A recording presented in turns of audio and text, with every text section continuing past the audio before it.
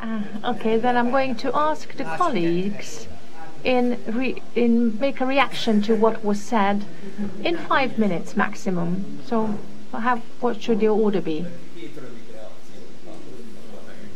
Two brief reactions, but I will need the microphone.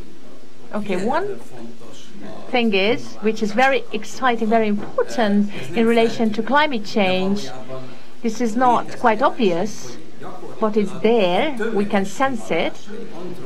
That there is an anthropologi uh, anthropological sense. We are in the middle of a kind of mass extinction. If we look at the rates of extinction of species, it's it's it's a large thing, and it's something that we it's unreturnable. I mean, you can't. It's irreversible. These species are once gone; they will never return. One small part might be genetically reconstructed, or by genetic engineering, you can uh, have them come back, but that will be a very minor part. This is when uh, biology knocks the door and hello, there is a problem here. But those who don't believe in climate change, well, they should look at the, the, the changes in the habitat of the species. It's very clear. I mean, it's easy to look at it, and you have the instruments to look at this uh, nowadays. And you can see that the species are now really changing as a result of the climate change. And uh, Dan Brooks uh, shows and says that unfortunately there are new contact zones emerging, and these uh, actually lead to the emergence of new diseases. The first documentation of which has been uh, done. And uh, just one idea, one remark uh, concerning quantum mechanics, which I believe is extremely important, is that it's not only the esoteric ideas like as the efficiency of photosynthetic reaction, but just chemistry as such in the whole world of chemistry is unthinkable without uh, quantum mechanics. The chemical bonding cannot be interpreted without quantum physics and quantum mechanics, and, and, and it gives an extra insight into chemistry. Thank you, that's all I wanted to say. Just a couple of remarks. One is on climate change. Everybody, all of us, feel the climate change. It is happening. We go outside to the street or just uh, switch on the television. Those opposing it say that you cannot separate human activity uh, from geological processes. You also said that uh, it existed in the past even without uh, for example, that's what Trump says actually now, so that the issue extra emission of carbon dioxide didn't exist at the past, but uh, I think we have to find ways to separate these two more efficiently. The other remark is what Eörs uh, said also that's uh, uh, based on quantum mechanics or actually, there is quantum mechanics in the background. For example how the way various groups cooperate and it, I know that it's tremendously simplified but just as for illustration Quantum mechanics describes things, for example, the one end of the universe there's a particle, let's say an electron, and the other end of the universe there's another electron. If these uh, actually are uh, connected through the quantum mechanics, if something happens to one, the other sees this. And actually this is also mirrored, it's possible, I think, to mirror this through biology. And that may be the background to what Eörs described about the tribal mm, group uh, experiments. That's just another addition just to say that you have to uh, focus on quantum uh, mechanics. About cooperation between groups. Today, there are many uh, possibilities to actually use data mining, mining methods to uh, map communication and behavior between groups. And in the US actually, related to the uh, election, there was a survey, although media in the US is actually uh, very colorful. There are different uh, directions and support uh, that and preferences. But the preferences of a given group is almost like exclusive. They just pretend that only the media groups that they focus on exist. For example, if there would be an opposing in opinion on the other side, they refuse to even click over and, and check that out. So even in the virtual space and communication space, even without boundaries and barriers, they're refusing to uh, leave their closed circles and environments. They, that's why they just stay there, they reinforce each other, and that is why these stupid ideas get reinformed. It's, uh, it's very bad. Uh, although animals don't uh, have mobile phones and don't click uh, using uh,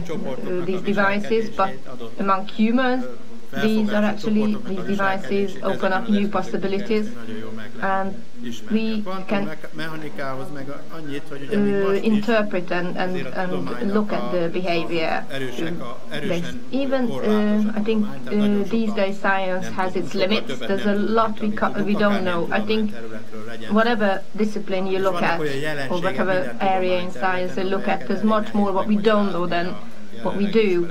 And also there are a lot of phenomena that we're still unable to explain at the moment uh, using the current knowledge that we have. And I think quantum mechanics is about to uh, come up with new surprises. So it's possible that these phenomena, which we cannot explain or know at the moment, can be later explained with quantum mechanics about uh, or refer back to the Hankiss's bubble because he said that uh, mankind actually creates this protective bubble which they call uh, civilization in order to protect themselves from the nasty outside world. Eörs probably would say that the reason to come up with this bubble is just so that they can organize a cooperation among uh, people through which they actually can establish competitive and viable societies.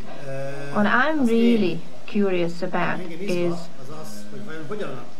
how these groups of symbols uh, come about. The, the, the, for example, the sets of rules, like the highway code, which everybody within a group understands and follows. How do they come about? Is it engineered? Somebody just comes up with it and introduces it? I don't think so. I think that this is also a result of an evolutionary process. There are these particular ideas which actually, according to one branch of uh, the uh, evolutionists, they are replicators.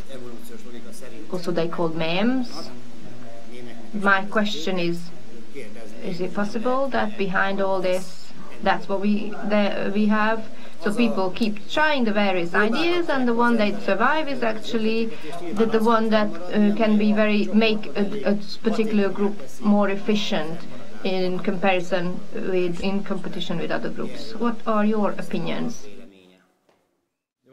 I can bring an example. For example, there are these uh, old wives' tales uh, regarding weather observations, and actually there was uh, science in itself. Uh, actually, these were in the past a matter of life and death because previously, but even now, but uh, previously even more so, um, people were really prone to the effect of uh, weather, and it was sometimes uh, could have proven fatal if they overlooked certain phenomena in weather.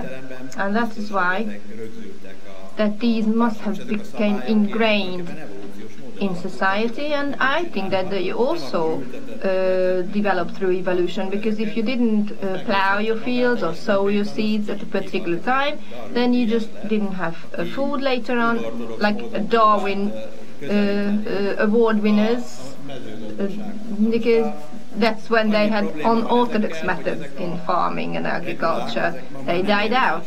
These rules are not valid anymore. Until they were, because of the, the, the, weather and the climate was more or less predictable or stable in a classic sense of the world word. Now we see changes that these rules, for example, we can forget about. Now, for example, if you want to sow your seeds or plow your fields, just like 10,000 years ago, then you will not uh, grow anything. And also, um, these days now we're not so at the so much at the mercy of weather compared to the past, because I think previously it must have been something to do with evolution, the way these habits and rules uh, um, formulated. And that goes, same goes for other activities, because farming was a necessity, a very important necessity at the time, and uh, other uh, activities were related to that. I have two remarks. One, let's start with an anecdote. My intellectual grandfather, J.B.S. Haldane, at the time used to start his population genetics lectures saying there are two uh, sentences. I inherited my nose from my father and I inherited my watch from my father. And biologists are only interested in the former.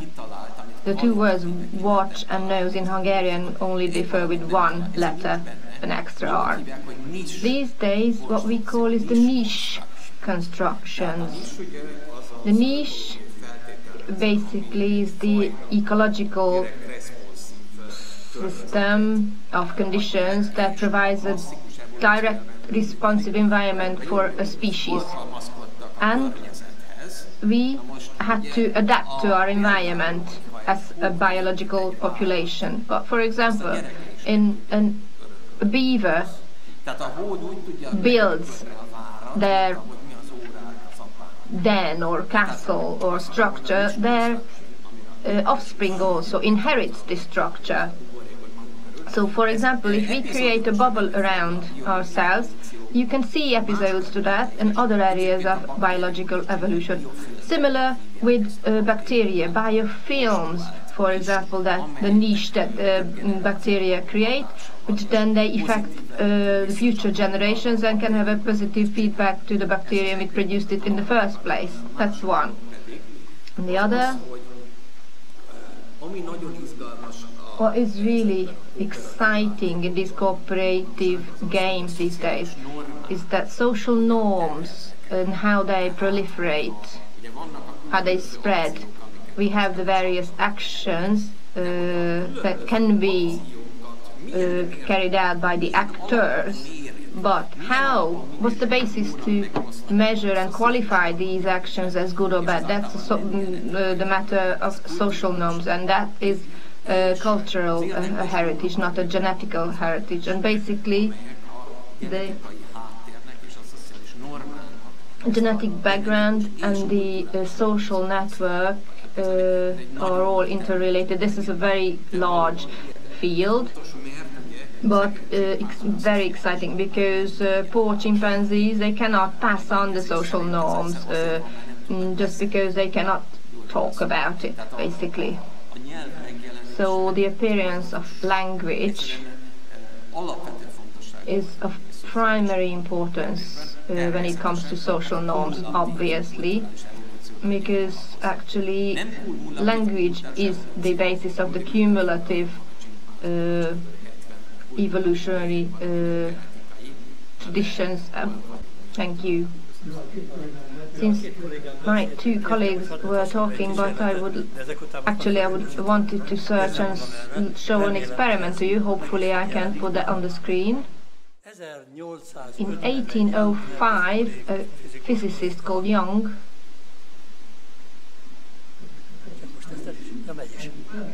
actually carried out an experiment that was a screen with two uh, punched two holes and let uh, light through the holes and then behind there were uh, uh, rays uh, so the waves the wave inter interference was detected on the other side but this was also carried out with atoms and same interference was the result. This experiment was done with electrons. In a way that only one electron was present at a time, so that was the screen with two holes, and one electron at a time was sent through these two holes. And the other side, as you can see, I don't know how, I can just um, go back to the beginning, so you could see the uh, interference. So the electrons are coming, one blue dot is one electron lit up and they come and slowly but surely you can see the same interference uh, system uh, with the others. So this proves that electrons can not only form waves but also they form quantum mechanical systems. A certain uh, probability for them to pass through one hole and then uh, the other and then the two interfere with, uh, inter mm, have interference in the end. This is immensely interesting because if I not cover up the hole, but if I know which hole the electron passed through, then the interference uh, detected disappears. It's the same as opening the box and uh, checking whether the cat inside is alive or dead. And if after a month, for example, I forget that they I knew that I knew then the interference comes back. So quantum mechanics also in time and also in distance they represent something else. So one electron is at the on one end of the uh, universe, the other is on the other, but they're still connected. So the interference was there. I forgot about it. If I go back and revisit the whole thing in a week, the same picture is there for me. Uh, it's difficult to understand, or you can't understand, but you can get used to it. So this is what I wanted to show. The question I have is, what do you think the probability is that in fact, other intelligent life hasn't contacted us because we're like the Republicans in Orange County. I'm, I'm, very serious about it. Uh, uh, uh okay, so uh, I think an answer to this question has several layers. Uh, first of all, maybe it's an age-related phenomenon, but uh, you know, in my case, it's not an insult. I'm insulting myself. So one of my fields is actually the origin of life, right? So um, uh, as I am growing older and older, I think that uh, the origin of life from the chemical mayhem from which it starts uh, is not a very probable process. And that is what I think. Okay, so the prediction is that if you have in principle habitable planets, you know, a thousand of them. Elfben I mean, it's very likely, in my view, that only one of them, valószínűleg van élet, tehát lehet, hogy vannak uh, többen is, és is elképzelhető, hogy valamiféle primitív élet kialakult ezeken a bolygókon. És ezt hamarosan mérni lehet a közeljövőben méghozzá azért, mert képesek leszünk arra, hogy az atmoszfér tartalmát, az exobolygóknak a tartalmát elemezzük. És hogyha sikerül azt megtalálni, vagy ráj, arra rájönni, hogy kiesett ebből a termo dinamikus egyensúlyából, akkor végül is ez egy jó adalék lehet ahhoz, hogy valójában valami biológiai jelen van ezeken a helyeken. Én nagyon örök, örülnék, hogyha ezt tudnánk igazolni, de azt gondolom, hogy nem fogunk semmi érdekeset találni. Legalábbis ez az én predikcióm. Uh, not necessarily, but we might be well, Az is uh, well alone in, the, elképzelhető, in, the, in our hogy galaxy. teljesen which az is egész better, galaxisban right? egyedül vagyunk, ami már elég rossz hír The, önmagában. the, the second, sorry, the second A thing másik is dolog, that of course hogy once you have nyilvánvalóan, primitive life, ha even egyszer that's not a valamiféle guarantee primitív for életet anything. felfedeztünk, az Because sem if you look garantál at the Earth's semmit, history, mert ha you megnézzük know, a Föld half of the történetét, time of all evolution az egész evolúció dominated by felében bacteria, ugye baktériumok right? Which half is very, very close to győzedelmeskedtek, one. ami So again, uh, Mi the a second uh, következtetés? theorem or whatever a is that második given the fact that there elmélet, is vagy life gondolat, elsewhere, hogyha van meg valahol 99% élet, of akkor them az will eseteknek have a only something like bacterial 99%-ban life, van and valami intelligent baktérium life will szintű be élettel very rare találkozhatunk, és az on the square. intellektuális, And that's intelligens really- élet azért No, nagyon that's- ritka lehet that's my valószínűleg. answer. Tehát nem, nem valószínű. Az én válaszom nem egy elméleti, hanem inkább egy, tud, egy filozófiai jellegű. A tudományban lehet kísérlet által bizonyítani dolgokat.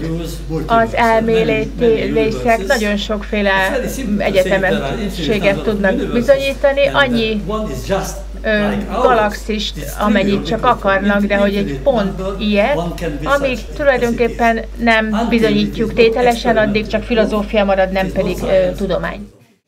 Something in relation to Mr. Professor Crow's presentation. István Bibó in the 1930s, when he wrote his uh, dissertation on um, the law, uh, science, legal science, he said that in natural sciences there are some cause and effect things, and in, in social sciences there are other determinations.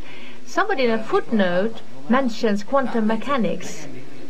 And then he talks about the consequences of probability.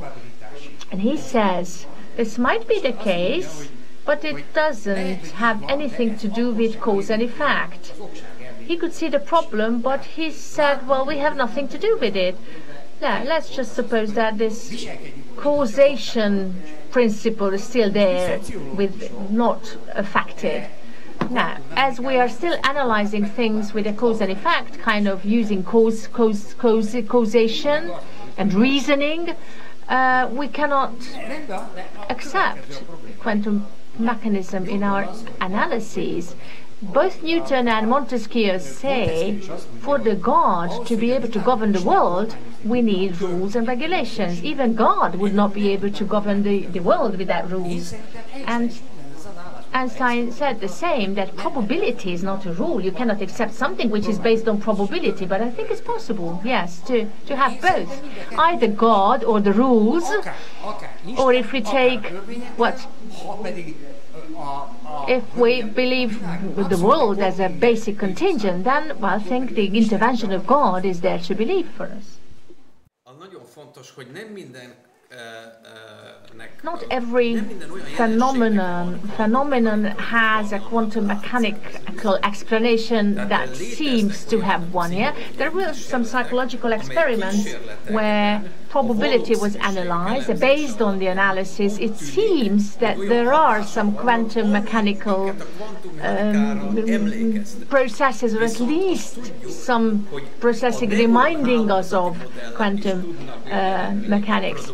Uh, other models can produce systems or results as if they were a quantum mechanical phenomenon or phenomena, but they can be modeled without quantum mechanics. So we, we shouldn't jump to uh, conclusion that everything is laden with quantum mechanics. God is always mentioned when there is a kind of a gap or a void or something inexplicable. We shouldn't do the same with quantum mechanism because that will lead to a big mess, really. Thank you for the contributions.